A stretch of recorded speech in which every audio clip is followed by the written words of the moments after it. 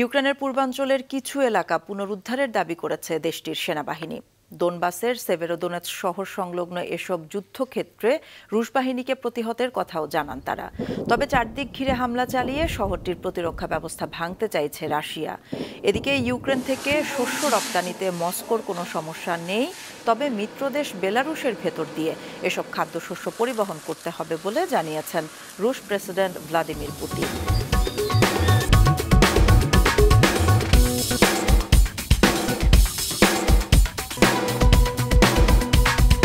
Thank you.